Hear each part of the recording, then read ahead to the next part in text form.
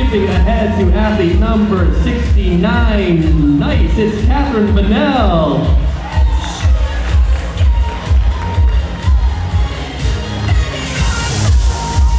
After 69, it's 70, and that is Miss Stacy Carter.